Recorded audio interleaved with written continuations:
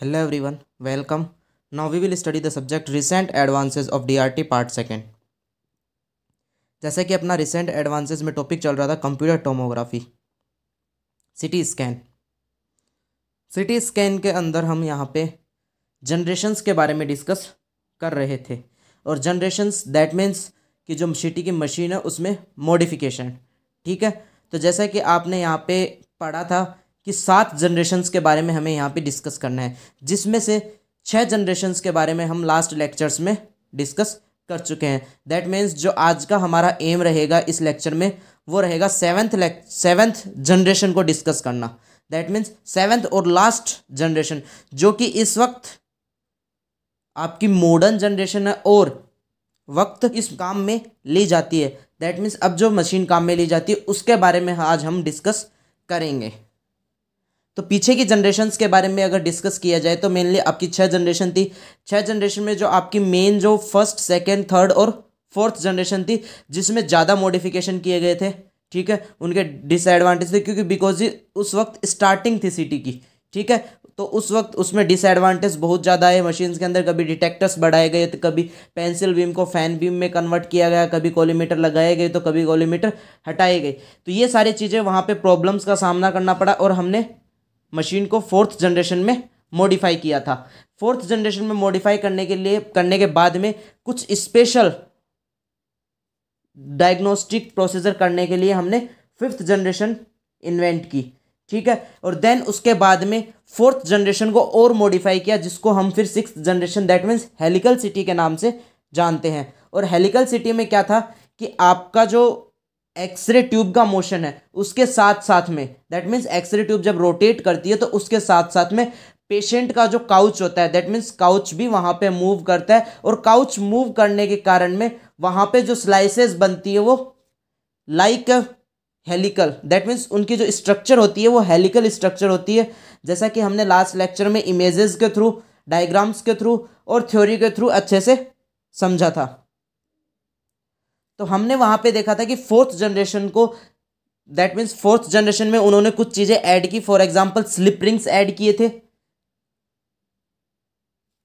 ब्रूशेज add किए थे, ठीक है? In that means fourth generation को मॉडिफाई करके ही सिक्स जनरेशन बनाई गई थी, ठीक है? और उसका हेलिकल सिटी नाम इसलिए रखा गया था क्योंकि उसमें जो स्कैनिंग होती थी, वो कौन सी स्कैनिंग होती थी? हेलिकल स्कैनिंग होती थी। आज हम बात करते हैं अपनी सेवन्थ जनरेशन की।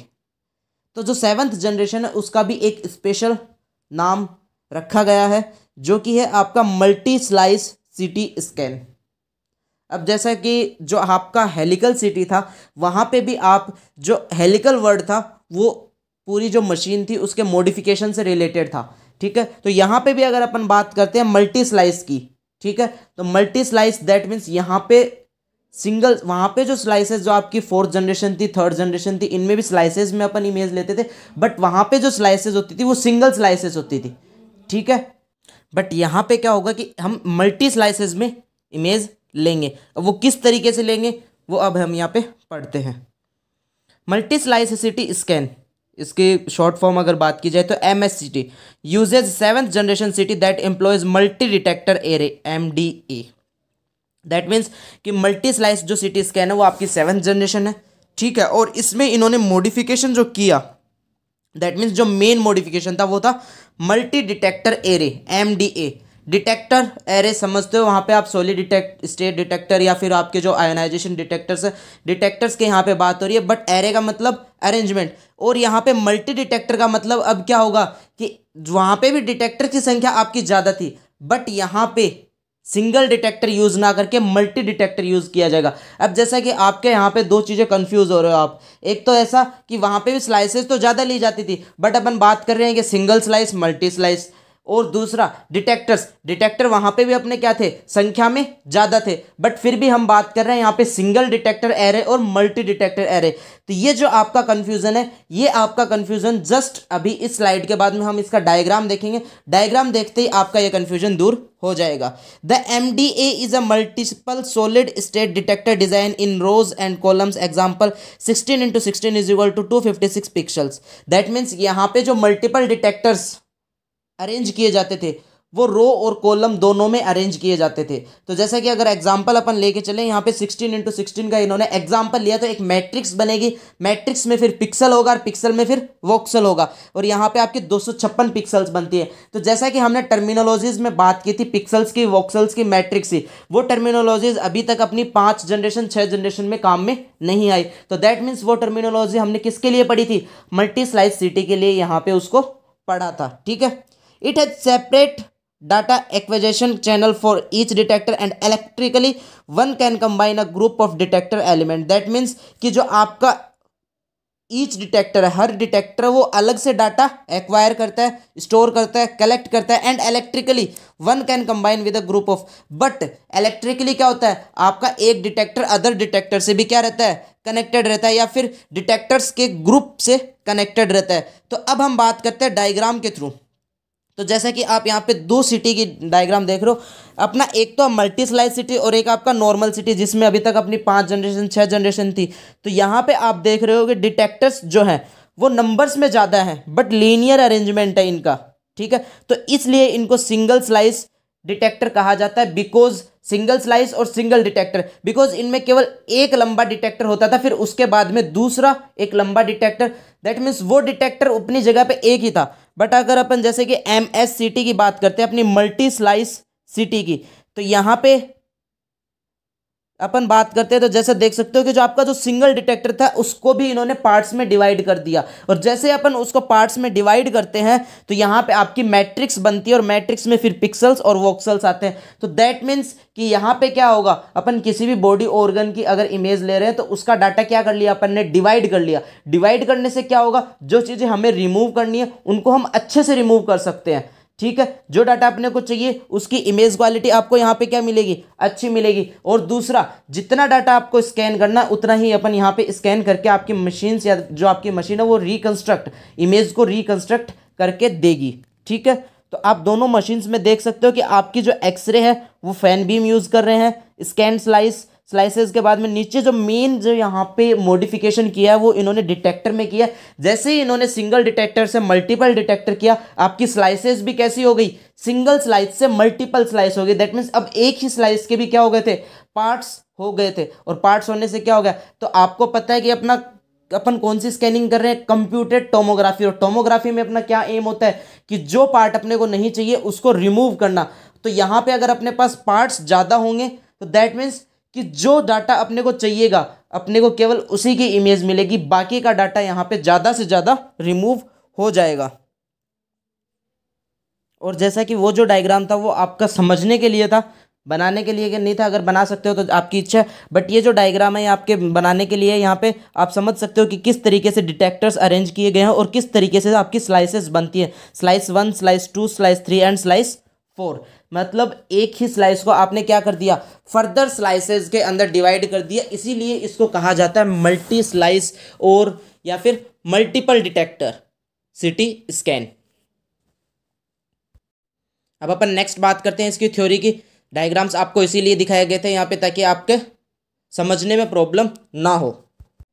It is available in two designs जैसे कि मल्टी स्लाइस सिटी की बात करते हैं तो जैसे मल्टीपल डिटेक्टर्स की अगर अपन यहाँ पे बात करेंगे तो इसकी दो डिज़ाइन है। एक है एडेप्टिव एरे और एक है लीनियर एरे अब जैसा कि एरे के बारे में मैंने आपको बता दिया था, पहले भी ट्रांसड्यूशन में भी ये वर्ड आया था, अपना डिटेक्टर्स में भी आ रहा है एरे अरेंजमेंट के लिए होता है। तो जैसा कि इन्होंने लीनियर की बात की सबसे पहले अपन लीनियर की बात करते हैं। लीनियर दैट मीन्स कि सारे के सारे जो एक लाइन में जो डिटेक्टर्स अरेंज होंगे दूसरा है यहाँ पे अडेप्टिव इन दोनों में मेन डिफरेंस आप समझ सकते हो कि जो आपका लीनियर एरे होता है, वहाँ पे जितने भी आपके डिटेक्टर्स आप यूज़ कर रहे हो, उन सब की विर्थ लेंथ या फिर जैसे कि बात की अपन डायमेंशन की बात करें डायमेंशन क्या होंगे? सेम होंगे. बट जो आपके अडेप्टिव एरे होंगे, वहाँ पे उनके डायमेंशंस सेम नहीं होंगे. उनका अरेंजमेंट तो उनका भी लीनियर ही होगा. जैसा कि अरेंजमेंट आपका लीनियर एरे का है या फिर जैसा आप डायग्राम में पीछे देख रहे थे डायग्राम में देखा था सेम वैसा का वैसा ही अरेंजमेंट होगा दोनों का बट डिफरेंस दोनों में इतना होता है कि अडेप्टिव में क्या होता है कि इनका डायमेंशन सेम नहीं होता। सारे के सारे जो डिटेक्टर्स होते हैं, इन सब का डायमेंशन अलग अलग होता है बट लीनियर एरे में सब डिटेक्टर्स का डायमेंशन सेम होगा। तो दो डिज़ाइन में आपकी मशीन अवेलेबल होती है। M S C T multiple slice CT uses third generation CT with helical scanning and low voltage slip ring जैसा कि हमने सिक्स जनरेशन में बात की थी कि जो आपकी सिक्स जनरेशन सिटी थी, वो फोर्थ जनरेशन को मॉडिफाई की गई थी। वैसे ही आपकी जो मल्टीपल स्लाइस सिटी है, वो थर्ड जनरेशन को मॉडिफाई किए गए। थर्ड जनरेशन सिटी को हमने मॉडिफाई किया विद हेलिकल स्कैनिंग और उसमें कौन सी मिलाई इन्होंने? सिक्स मिलाई। तो जैसा कि अगर आप समझ सकते हो सिक्स में आपकी कौन सी थी? फोर्थ थी। अब जो आपकी मल्टीपल स्लाइस है, उसमें इन्होंने थर्ड काम में ले ली और सिक्स भी काम में ले ली तो फोर्थ अपने आप आ गई। तो दैट मीन्स यहाँ पे कितने जनरेशन को इन्होंने इन्वॉल्व कर लिया? थर्ड जनरेशन को भी इन्वॉल्व कर लिया फोर्थ जनरेशन को भी इन्वॉल्व कर लिया और साथ में six generation that means helical scanning को भी इन्होंने इन्वॉल्व कर लिया। दैट मीन्स कि तीनों मशीनों को इन्होंने ज्वाइन करके एक नई मशीन यहाँ पे बनाई। And low voltage slip rings जैसा कि हमने सिक्स जनरेशन में बात की थी, वहाँ पे स्लिप रिंग्स काम में ली जाती थी, यहाँ पे भी इन्होंने स्लिप रिंग काम में ली बट लो वोल्टेज काम में ली। The collimator spacing is wider and more x-rays are used in producing image data यहाँ पे जो कोलीमेटर का जो स्पेस था, वो इन्होंने और वाइड कर दिया ताकि हम ज़्यादा से ज़्यादा डाटा कलेक्ट कर सकें। Opening of the collimator in a single array scanner increase the slice thickness but reduces spatial resolution in the slice thickness dimension that means कि जैसे ही अपन कोलीमेटर को ज़्यादा ओपन करते हैं, किसी भी सिंगल एरे स्कैनर में दैट मीन्स सिंगल डिटेक्टर के अंदर। तो वहाँ पे क्या होता है? इंक्रीजेज द स्लाइस थिकनेस वो स्लाइस की थिकनेस को इंक्रीज करता है। जैसा कि हमने सिक्स जनरेशन में भी पढ़ा था कि अब या फिर अपन ने थर्ड जनरेशन में ये चीज़ें डिस्कस की थी कि जो आपका कोलीमेटर की जो ओपनिंग है वही डिस, आपको डिसाइड करती है कि कितनी स्लाइस की थिकनेस होगी। But reduces spatial resolution but इसमें क्या होता है? थिकनेस तो बढ़ जाती है लेकिन रेजोल्यूशन कम हो जाता है। In the slice thickness dimension जो आपकी स्लाइस की थिकनेस की जो डायमेंशन है, वो आप बढ़ा लोगे, बढ़ जाएगी। जैसे जैसे आप कोलीमेटर को ओपन करोगे स्लाइस की थिकनेस बढ़ेगी बट जो इमेज का जो रेजोल्यूशन है, वो डिक्रीज हो जाता है। तो यहाँ पे आपने देखा कि मल्टीपल स्लाइस में दैट मीन्स मल्टीपल डिटेक्टर अपन दोनों बात एक ही कर रहे हैं यहाँ पे multiple slice that means multiple detector ही हो रहा है यहाँ पे।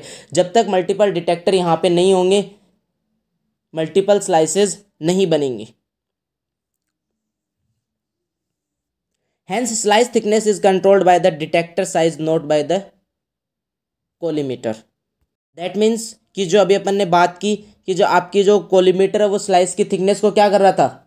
कंट्रोल कर रहा था। ये आपका कौन सी जनरेशन में था? थर्ड और सिक्स जनरेशन में बट ऐसा सेवन्थ जनरेशन में नहीं है। सेवन्थ जनरेशन में स्लाइस की थिकनेस को कौन कंट्रोल करता है? डिटेक्टर ठीक है? Hence the slice thickness is controlled by the detector size detector की जो साइज़ होगी, उसी के अकॉर्डिंग यहाँ पे आपकी स्लाइस की थिकनेस आपको मिलेगी। Hence the detector pitch is defined as the तो जैसा कि अपनी सिक्स जनरेशन में थी, वहाँ पे अपन ने क्या किया था? कोलीमेटर पिच को डिफाइन किया था। अब यहाँ पे आपकी जो स्लाइस की थिकनेस है, वो कौन डिफाइन कर रहा है? डिटेक्टर डिफाइन कर रहा है तो अपन यहाँ पे डिटेक्टर पिच को डिफाइन करेंगे। और डिटेक्टर पिच आपकी क्या होती है? Detector pitch is equal to total movement per 360 degree rotation gantry upon detector with जैसा कि आपका कोलीमेटर पिच में अपन ने जो रोटेशन था, आपका एक्सरे ट्यूब का, उसको कोलीमेटर की विर्थ से डिवाइड किया था, वैसे यहाँ पे डिटेक्टर की विर्थ इससे डिवाइड करेंगे, ठीक है? The collimator pitch and detector pitch of a given CT is related as follows और जो सिक्स और सेवन जनरेशन दोनों आपकी जो हेलिकल सिटी और मल्टीप्लाई सिटी है मल्टीपल स्लाइस या फिर मल्टी स्लाइस जो सिटी है, इसमें जो अपन ने बात की यहाँ पे डिटेक्टर पिच की और कोलीमीटर पिच की तो इन दोनों के बीच में भी एक रिलेशन होता है और वो रिलेशन क्या है? Collimator pitch is equal to detector pitch upon N और एन क्या है यहाँ पे? Where N is equal to number of detector array in multi slice CT कि मल्टीपल जो आपकी मल्टी स्लाइस सिटी है, उसमें कितने नंबर ऑफ़ डिटेक्टर्स यूज़ किए गए हैं? The number of x-ray detected in is four times higher than that of a single array of 1.25 mm. जैसा कि अगर अपन मल्टीपल या फिर मल्टी स्लाइस सिटी की बात करें तो comparison to the single slice तो सिंगल स्लाइस में जो आपका 1.25 mm का जो डिटेक्टर होता था, उसके अकॉर्डिंग या फिर उससे अगर अपन कंपेयर करें तो आपके मल्टी स्लाइसिटी में आपकी जो एक्सरेज डिटेक्ट की जाती हैं, वो चार गुना ज़्यादा की जाती हैं। ऑब्वियसली बात अगर आप चार गुना ज़्यादा एक्सरेज डिटेक्ट करोगे दैट मीन्स आप फोर टाइम्स किसी भी जो बॉडी ऑर्गन है, उसकी जो आप डाटा कलेक्ट कर रहे हो, वो भी आपका कैसा है? फोर टाइम्स ज़्यादा है। तो दैट मीन्स आपको, आपके पास यहाँ पे ज़्यादा डाटा कलेक्ट होगा, और ज़्यादा डाटा कलेक्ट होगा दैट मीन्स डायग्नोसिस आप किसी भी बॉडी ऑर्गन का अच्छे से कर पाओगे।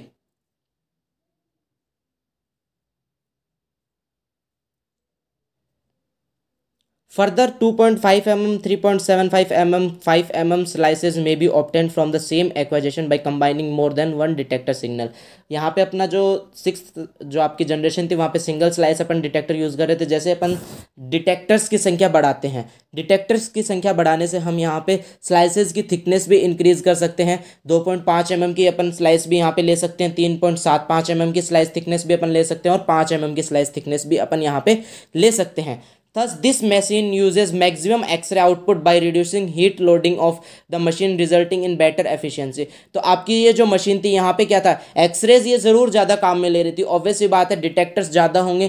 फ़ैन बीम के यहाँ पे इनको साइज़ इंक्रीज करनी पड़ेगी। ज़्यादा डाटा चाहिए तो आपको ज़्यादा रेडिएशंस भी चाहिए और ज़्यादा रेडिएशन चाहिए तो आपकी क्या होगा? जो हीट जो एनोड की हीट कैपेसिटी है वो आपको दैट मीन्स वो इंक्रीज होगी। तो उसका जो हीट लोडिंग था उसको भी इन्होंने क्या कर दिया? कम कर दिया ताकि वो कम गर्म हो, वहाँ पे हीट कम निकले, ये भी इन्होंने मॉडिफिकेशन किया। By reducing the heat loading of the machine जो मशीन की जो टोटल की जो जो हीट लोडिंग थी, वो भी कम कर दी गई थी रिजल्टिंग इन बेटर एफिशिएंसी तो सारा का सारा जो आपको रिज़ल्ट मिल रहा था, वो एक अच्छी एफिशिएंसी में यहाँ पे मिल रहा था। These CT scanner are available in eight sixteen sixty four और हाइयर स्लाइसेज मॉडल तो यहाँ पे जैसा कि अगर आप बात करते हो कि इनके स्लाइसेज की जो मॉडल्स की बात की जाती है तो आपको आठ सोलह और चौंसठ स्लाइसेज में मिलती है। दैट मीन्स अगर अपन आठ की बात करते हैं यहाँ पे तो एक मैट्रिक्स की यहाँ पे अगर बात की जाए, आजकल जो और अपनी जो मॉडर्न आ रही हैं, वो दो सौ छप्पन में भी आ रही हैं। ठीक है? दैट मीन्स रो और कॉलम ठीक है? की बात की जाए तो यहाँ पे आठ रो और आठ कॉलम होंगी, सोलह रो और सोलह कॉलम होंगे और चौंसठ रोज और चौंसठ कॉलम्स होंगे। जितनी ज़्यादा आप स्लाइसेस बढ़ाओगे, उतनी ज़्यादा आपको इमेज अच्छी मिलेगी डाटा अच्छा मिलेगा डाटा डाटा ज़्यादा मिलेगा। दैट मीन्स यहाँ पे जो भी आप डायग्नोसिस कर रहे हो, वो अच्छे से कर पाओगे, बढ़िया कर पाओगे, उसकी क्वालिटी अच्छी होगी।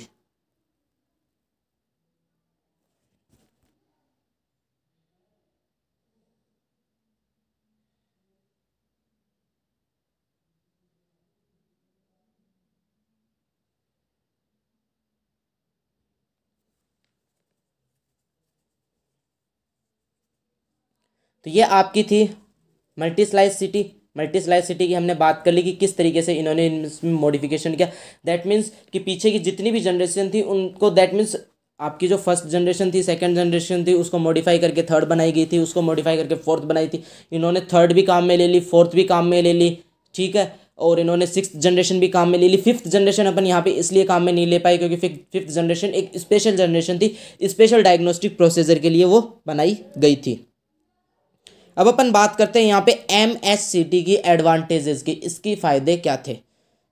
M S C T multi slice CT special feature includes faster rotation इसका रोटेशन क्या था? फास्ट था। ऑब्वियसली बात है, अगर रोटेशन फास्ट होगा तो आपका जो एक्सपोजर टाइम बात करें अपन, या फिर स्कैनिंग टाइम की बात करें, वो रिड्यूस हो जाएगा। शॉर्टर एक्सपोजर टाइम इसका शॉर्टर जो मतलब एक्सपोजर टाइम था, वो कम था।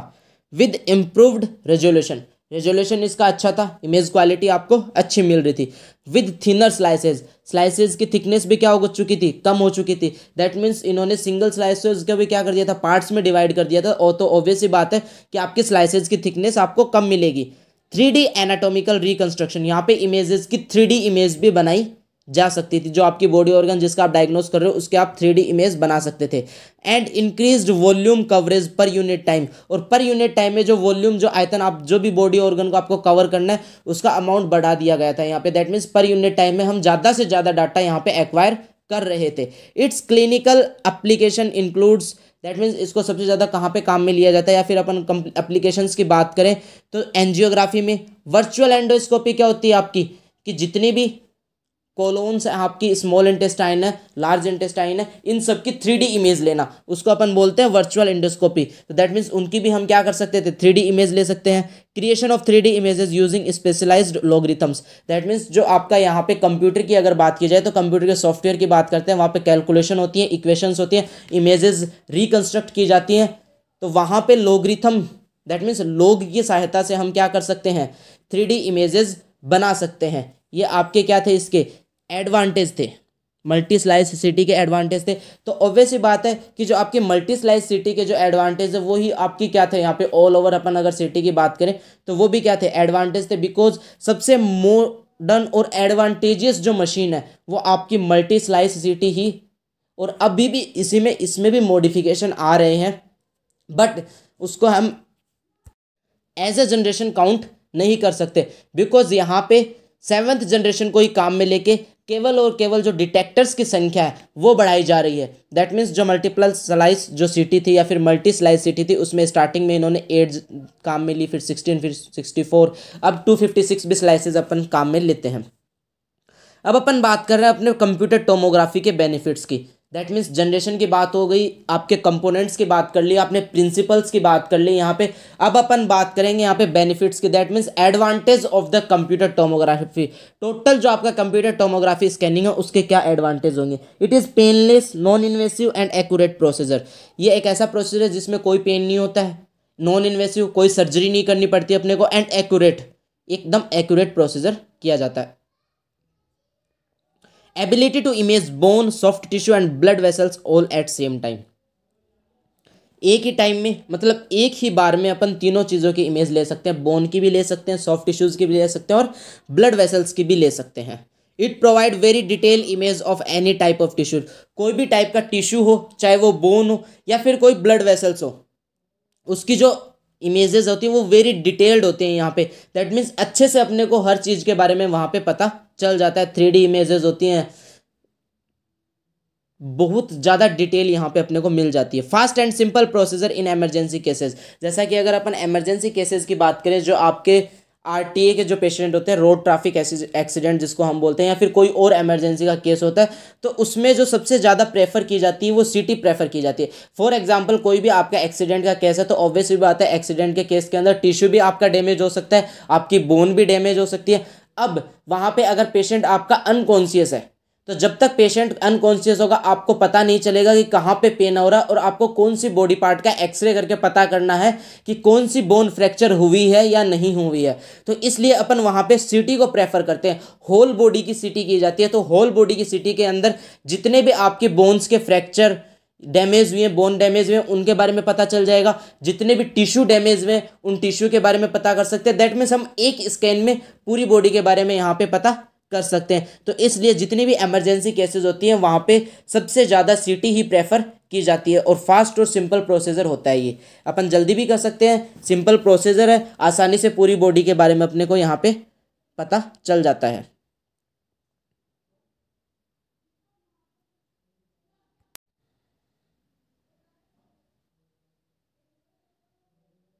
Cost effective imaging for a wide range of clinical problems जो भी जितनी भी क्लिनिकल प्रॉब्लम्स है, वहाँ पे कॉस्ट इफ़ेक्टिव इमेजिंग होती है। दैट मीन्स कि जितना अपना यहाँ पे पैसा लगता है, उतना अपने को डायग्नोसिस ये करके दे देता है। ठीक है? ऐसा नहीं है कि पैसा ज़्यादा लग रहा है बट इमेजिंग में अपने को डायग्नोसिस कम पता चल रहा है। ऐसा कुछ नहीं है। यहाँ पे कॉस्ट इफ़ेक्टिव होती है ये। जितना कॉस्ट इसमें लगता है डायग्नोसिस उतना अच्छा अपने को ये करके देती है। Less sensitive to patient movement than MRI अगर जैसा कि अपन कंपैरिजन करें एमआरआई से तो एमआरआई में क्या होता है कि स्मॉल मूवमेंट से भी आपकी इमेज डिस्ट्रॉय हो जाती है, ख़राब हो जाती है। ऐसा यहाँ पे नहीं होता, ये बहुत कम सेंसिटिव होती है पेशेंट के मूवमेंट से। अगर कंपैरिजन किया जाए एमआरआई से, ठीक है, अपन एमआरआई से कंपैरिजन कर रहे हैं सेंसिटिव ये भी होती है, यहाँ पे भी मोशन आर्टिफैक्ट्स आते हैं। दैट मीन्स अगर पेशेंट मूव करेगा तो मोशन आर्टिफैक्ट आपको दिखाई देंगे बट अगर कंपेरिजन किया जाए एमआरआई से तो एमआरआई के कंपेरिजन में यहाँ पे कम मोशन आर्टिफैक्ट आपको देखने को मिलेंगे। डायग्नोसिस में eliminate the need of surgery and surgical biopsy इस डायग्नोसिस से हमने एक चीज़ और एलिमिनेट कर दी, एक चीज़ और रिमूव कर दी थी need for surgery and surgical biopsy कई बार क्या होता है कि किसी भी टिश्यू की अगर अपने को बायोप्सी करनी होती है तो वहाँ पर सर्जरी करनी पड़ती है। सर्जरी करने के बाद हम टिश्यू के क्या निकालते हैं? छोटा सा अमाउंट लेते हैं और फिर उसके लैब के अंदर एग्जामिनेशन किया जाता है। वो भी यहाँ पे एलिमिनेट हो चुका था बिकॉज़ हम थ्री डी इमेजेस से बहुत ज़्यादा उस टिश्यू के बारे में एग्जामिन कर सकते हैं डायग्नोसिस कर सकते हैं, जिससे हमको वहाँ पे सर्जरी करने की ज़रूरत नहीं पड़ेगी या फिर सर्जिकल बायोप्सी की बात की जाए तो वो भी अपने को करने की ज़रूरत नहीं पड़ती है। हम ऐसा नहीं कर रहे कि, या फिर हम ऐसा नहीं कह रहे हैं यहाँ पे कि जितनी भी सर्जिकल बायोप्सी थी, वो एलिमिनेट कर दी थी। बट बहुत सारी सर्जिकल बायोप्सी एलिमिनेट कर दी गई थी रिमूव कर दी गई थी इस प्रोसीजर के द्वारा। No radiation remain in the patient body after CT examination जैसा कि आपको पता है कि सिटी के अंदर बहुत ज़्यादा एनर्जी की रेडिएशन यूज़ की जाती है तो यहाँ पे जितनी भी रेडिएशंस होती हैं, वो सारी की सारी ट्रांसमिट होकर बाहर हो जाती हैं पेशेंट की बॉडी के अंदर नहीं रुकती। इस वजह से यहाँ पे जो पेशेंट को डोज है, वो कम लगती है। वैसे देखा जाए तो एक्सरे के कंपैरिजन में अगर बात करें तो एक्सरे के कंपैरिजन में सिटी में डोज ज़्यादा लगती है बट एफिशिएंट लगती है दैट मीन्स इतनी भी ज़्यादा नहीं लगती है। तो ये सब थे आपके सिटी के एडवांटेज ठीक है? बेनिफिट्स अपने क्या? अब अपन बात करते हैं इसके डिसएडवांटेजेस की। दैट मीन्स रिस्क क्या क्या है? अगर अपन किसी भी पर्सन की या फिर किसी भी बॉडी ऑर्गन की अपन अगर सीटी कराते हैं कंप्यूटर टोमोग्राफी स्कैनिंग कराते तो उसमें अपने को क्या क्या डिसएडवांटेज हो सकते हैं? उनके बारे में भी हम डिस्कस कर लेते हैं। डिसएडवांटेज हालाँकि इसके बहुत कम हैं बट फिर भी एक बार उनको डिस्कस कर लेते हैं।